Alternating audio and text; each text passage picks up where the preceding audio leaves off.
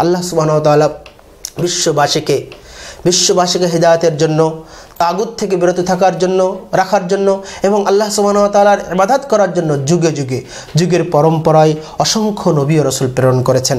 সুরা নাহাল তেতাল্লিশ নম্বর আয়তে, ছত্রিশ নম্বর আয়তে আল্লাহ সুবাহতালা বলছেন ওয়ালা কদবা আফনা ফি কুল্লি উম্মাহ রাসুলেন আনি আবুদুল্লাহ ওয়াজতানিবুত তাগুত। আমি প্রত্যেক যুগে যুগে মানুষের নিকটে রাসুলদের প্রেরণ করেছি, এই মর্মে নির্দেশ প্রদানের জন্য যে তারা মানুষকে এই নির্দেশ দিবে যে আনিবুদুল্লাহ তোমরা আল্লাহর এবাদত করো। ওয়াজিতানিবুত এবং যাবতীয় তাগুত থেকে, মিথ্যা মাবুদ থেকে তোমরা দূরে থাকবে।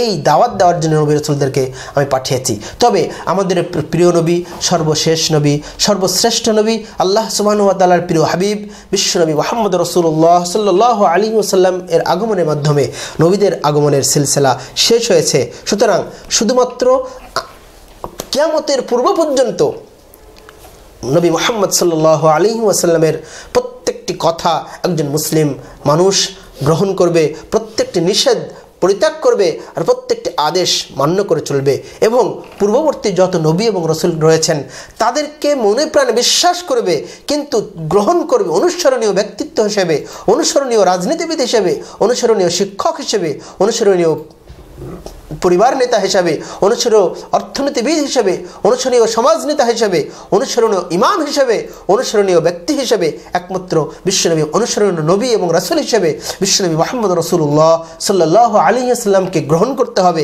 আর পূর্বে যত নবী এবং রসুল আল্লাহ পাঠিয়েছেন, তাদেরকে বিশ্বাস করতে হবে। আল্লাহ তাদেরকে সত্য রূপে পাঠিয়েছিলেন, নবী রসুল রূপে পাঠিয়েছিলেন, এ মর্মে বিশ্বাস রাখতে হবে। অতপর কিতাব সমূহ আল্লাহ পাঠিয়েছেন, এ মর্মে বিশ্বাস রাখতে হবে। এগুলো সবই হলো আপনার আমার আকিদার মধ্যবর্তী বিষয়। আসমানি কিতাবসমূহ আল্লাহ সুবাহতালা একশো চারখানা সহিফা বা আসমানি কিতাব পাঠিয়েছেন। তার মধ্যে একশো, তার মধ্যে চারটি হলো সবচেয়ে বড় তাওরাত, জাবুর ইঞ্জিল কোরআন। এই চারটা কিতাব সবচেয়ে বড়। এই চারটা কিতাবের মধ্যে একজন মুসলিম শুধুমাত্র কোরআনকে অনুসরণ করবে। আর বাকি চারটা, বাকি তিনটা কিতাব, তাওরাত, জাবুর ইঞ্জিল এই সহ আরও যে একশো, একশোটি সহিফা রয়েছে, এগুলোর প্রতি পূর্ণাঙ্গ রূপে বিশ্বাস স্থাপন করবে, কিন্তু আমল করবে, অনুসরণ করবে, তাকে প্রতিপালন করবে কেবলমাত্র কোরআনুল করিম। কোরআনুল করিম এবং পবিত্র কোরআন, পবিত্র কোরআনের মতো আরেকটি যে বাণী আল্লাহ রসুলাম আমাদেরকে দিয়েছেন সহি সন্না এটাকে গ্রহণ করবে। পূর্ববর্তী সকল কিতাবগুলো এই কোরআন আসার পরে আল্লাহ সুবাহতাল্লাহ রহিত ঘোষণা করেছেন। এছাড়া আকিদার গুরুত্ব এত বেশি যে আমরা যখন দুনিয়া থেকে বিদায় নিব কবরে যখন যাব, তখন কবরেও কিন্তু এই আকিদারই প্রশ্ন করা হবে। আমি কতটুকু সলাত আদায় করেছি? আমি কতটুকু দান করেছি? আমি কতটুকু শ্যাম রেখেছি? আমি কত কয়বার হজ করেছি, কয়বার উমরা করেছি? এগুলো আল্লাহ সুবাহনুয়া তালা কবরে প্রশ্ন করবেন না। বরং কবরে যে তিনটি প্রশ্ন করা হবে, সেটি হলো আকিদা বিষয়ক। কবরে যে প্রশ্ন করা হবে, মান রব্বুকা, তোমার প্রতিপালক কে?